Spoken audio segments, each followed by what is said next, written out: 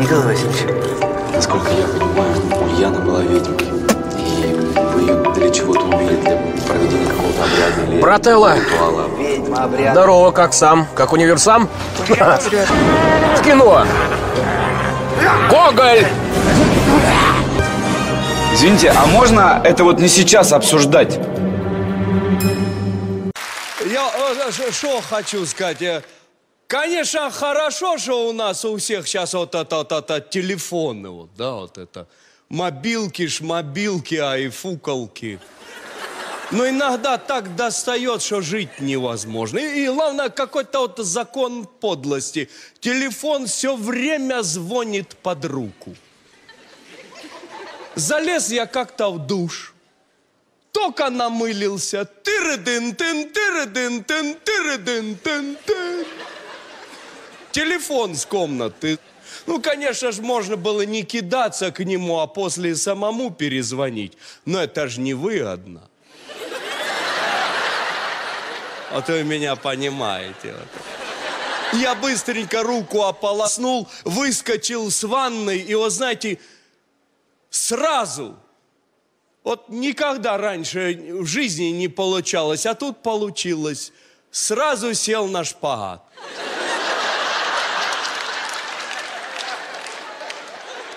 Как я так неожиданно поскользнулся, прямо не знаю. Вот.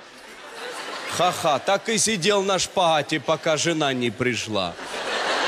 А попробуй меня подыми, она скорую вызывала. Ладно дело, врач зашел не спеша. Да так неторопливо. Поморщился брезгливо так. Потом рванул к окну и как зарет вниз. Петрович, по твоей части. Через пять минут нарисовался водитель скорой помощи и поднял меня со шпагата при помощи домкрата. Три недели вот так вот, вот ходил вот. Как щелкунчик с Лебединого озера. Я же говорю, мобилка это... Ну, а, а вот помните, вот когда мобилки еще только появились, помните? Тю, смс-ка вибрирует. Ты ж долгожданная моя, сейчас глянем, что прислали. Уважаемый абонент, отправьте на этот номер смс со словом «балбес», чтобы выиграть «Мерседес». Чтобы выиграть «Мерседес». Это уже третий раз присылают. Первый раз я еще подумал, почему именно «балбес»? А потом дотумкал, когда отправил. У меня все деньги со счета. Я же говорю, эти мобилки. Так вот, я говорю, помните, когда мобилки еще только появились, никто же не знал, что они не везде ловят. А у меня супруга жутко ревнивая – поехал в Москву к брату в гости, вылазю с метро, тыры-дын, тын-тын. Ты где был? Я в метро ехал. Не бреши, я тебе туда звонила, там тебя не было. Ты в это время с бабами был. Я говорю, Геля, акстись, с какими бабами? С двумя. Одна русская, другая англичанка. Я спрашиваю, где Гриша русская? Отвечает, извините, абонент сейчас недоступен, видите ли. Англичанка вообще обналевшая следом у трубку вякает. Sorry, this subscriber is not available now. Ну, признавайся, что такое available?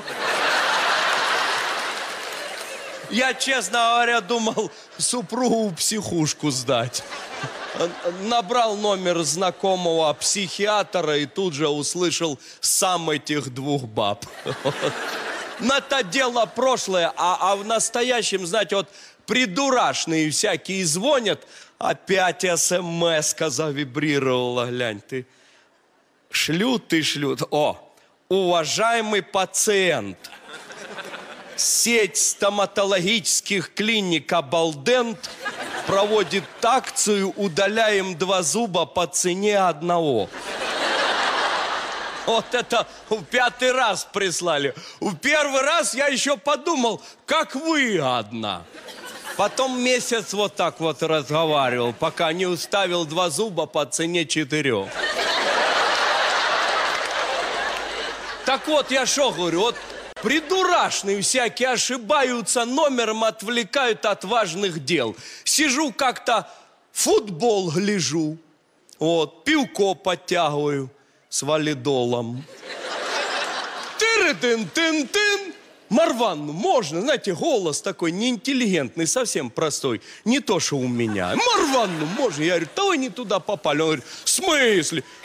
Марван, ну позовите к телефону. Я говорю, а ну назовите последние четыре цифры номера, что вы набираете. Он говорит, 48-35. Я говорю, во, видите, 35. А вы попали на 36. Он говорит, так это же рядом. Пригласите Марван.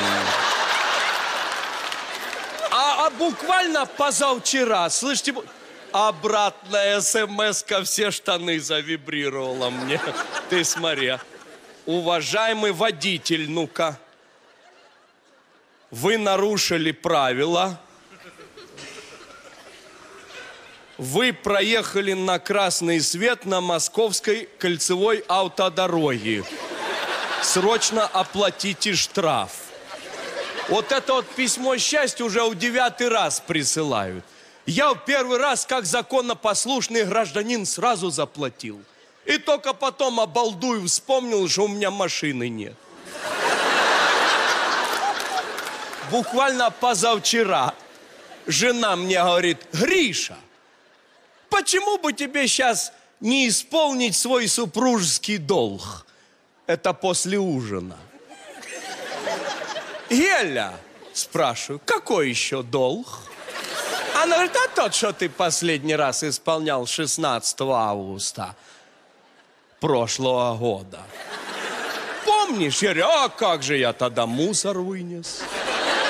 Она говорит, не выкобеливайся, дорогуша, и начала краситься на ночь глядя. Главное, весь день ходила на черта похожая. Видимо, чтоб я ночью не уснул. А тут надуханилась. Легла в новом белом белье в дырочку. Хлопает по матрасу, дескать, ко мне. Ну, я рядом лег в черных носках, тоже в дырочку. И начал исполнять. Ой, мороз, мороз, нема. А что я еще могу после шпагата? Мороз меня, не морозь меня. Гелька лежит, кайфует. Вот. Заслушалась. Это же ее любимая песня. а Я не пел давно. Долги-то надо отдавать. Морозь меня. Тыры-дын-тын-тын. Моя как заголосит, говорит, вот опять не вовремя, этот твой дурацкий телефон вечно звонит, не вовремя все обламывает. А сама хватит телефон на громкую связь и мне в ухо. Она всегда так делает, чтобы если женский голос наблюдать за моим лицом. А тут и вправду женский голос. Доброй ночи, такси вызывали? Ага, говорю, вызывали, вызывали позавчера. Так и не приехала. Извините, машин двое суток была в пробке. А сейчас уже красная Мазда у вашего подъезда. Я говорю, у меня под боком своя Мазда. Белая в дырочку. Не поняла, какой у вас этаж таксист вам поднимается по помочь вещи спустить? Я говорю, какие вещи, какой таксист? Молоденький, черенький, с изящной бородкой. И тут смс-ка, смс-ка на телефон жены. Магазин новой модной одежды Хэкэн сегодня ровно в полночь проводит акцию «Шубы летом, сарафаны зимой». Скидки от 80%. Моя как рванет, и прямо в этой рубашке, на этой Мазде в магазин. Второй день ее нету. Наверное, у пробки.